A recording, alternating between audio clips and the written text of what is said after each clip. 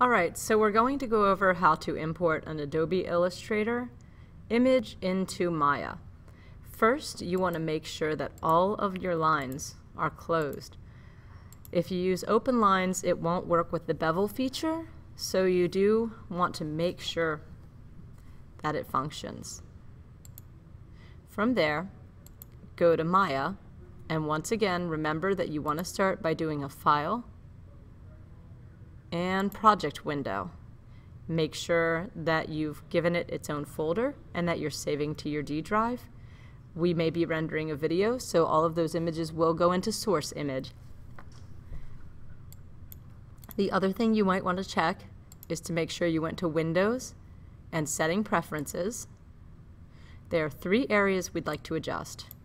One, make sure that undo is off. I'm not or is on. I'm not sure why, but a lot of student computers have been turning it off, so make sure it's on. Two, under settings, make sure that you're changing your time to 30 frames a second NTSC. That will go ahead and set it so that you're using video time instead of film time. That also means that anything that you shoot for live action will match if you do use this for any of your live action projects. And the last is to make sure under Files and Projects that you have auto-saved enabled. I usually set it to save every about 10 to 15 minutes, and the max number anywhere from 5 to 10. It depends on how far you want to be able to go back. From there, hit Save. Now, a lot of students think that you'll start by going to File Import, but you don't want to do that for an Illustrator document. Since you're bringing in lines and curves, you're going to go to Create, and it's actually its own option, Adobe Illustrator object. Click the square. Now if all of your lines are closed and you don't have many internal details, you can do a bevel. If you've played around with these settings, it looks a little odd. You can always go to Edit and Reset Settings. And then we're going to do a Create. From there, find the version you saved for Maya. If that doesn't work, remember that when you saved your Illustrator document, you wanted to do a File, Save As, make sure that it was Adobe Illustrator. I named mine Maya Export originally. So we'll just name this Export 2 for the sake of this demo.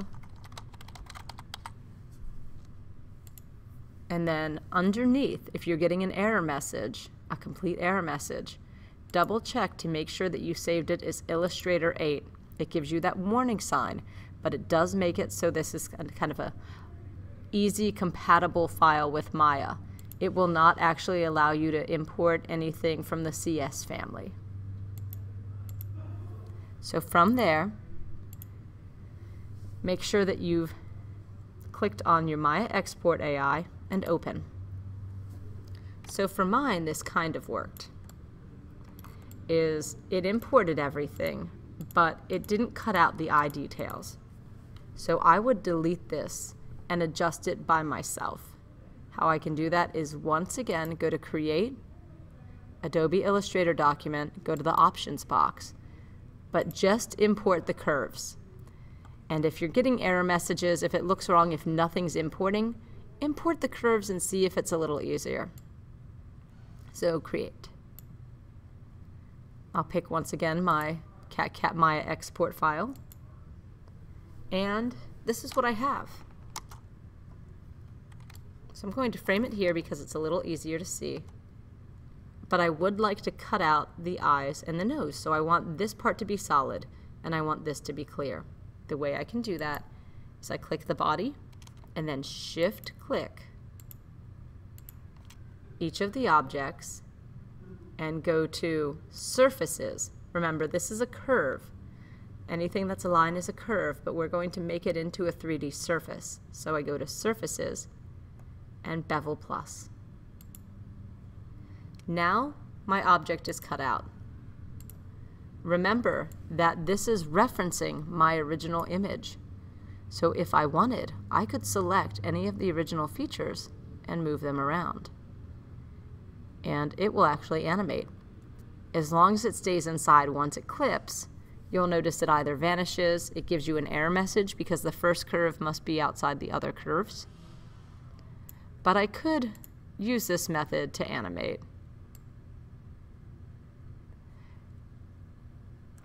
I could also, if I wanted, undo this and separate these shapes and bevel them out separately. So if you have a fairly complex design, I could select these aspects and bevel them all out separately.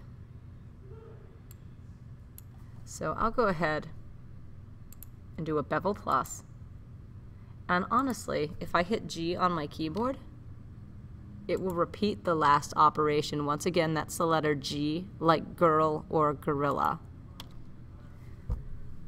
And I could move these and animate them.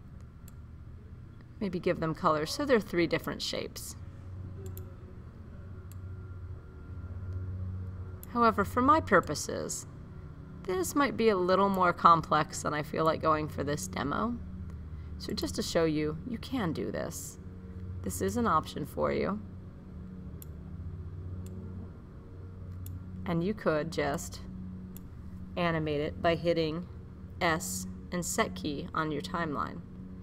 The S will set the key, and then if I wanted it to move, I could move my time slider to where I want the next frame of animation to happen,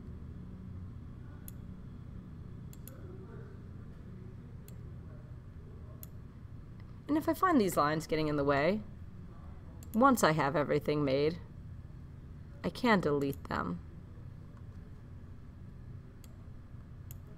So I could select all this again, hit set key.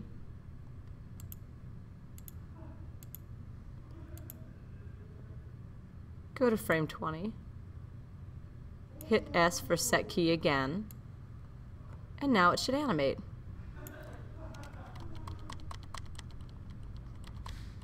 So this is one reason I redid my undo steps. As I could also do a much simpler animation. You don't need to do anything too complex. So I'm going to go back to that bevel plus again. Click, click, click. Go to surfaces, bevel plus. And then I'll get rid of my reference image underneath. Maybe not delete it, but I'll at least hide it. Oopsie.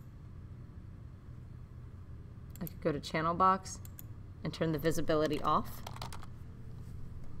I can still find it if I go to outliner. So I could go back to that illustrator, turn it back on. But for right now, I'll go back to that view and just animate this. So I might do a set key and do a simple rotation maybe at about 30. It animates that much. So give it one second. This will be a very long animation. I would probably speed this up, honestly. Two, three,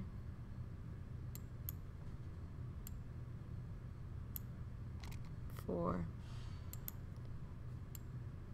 five, and remember that it's 30 frames a second. So right now my animation is going to be five seconds. And if I wanted, I could change that. And now when I play it, you'll see in that view that my cat spins. And it spins a little faster and the second part because my keyframes are closer together.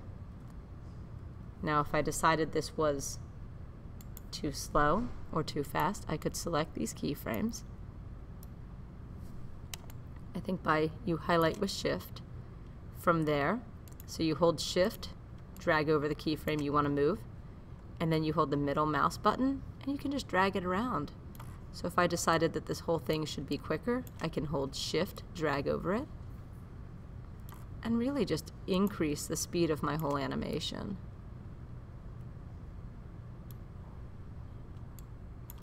So instead, let me say I wanted to move them every 15 seconds. And there you go.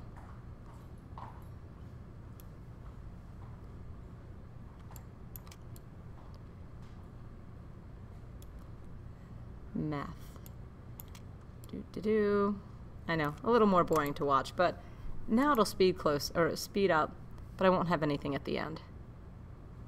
You can make your animation between three and five seconds, so if I wanted, I could go ahead and move both of these to 90, and now I'm only doing that animation. To do a test and see what it looks like, stop it, and then go to Window, Play Blast, Box, change your AVI, and then under your Play Blast, go ahead, save file, browse, and like everything else, you're saving to your D drive.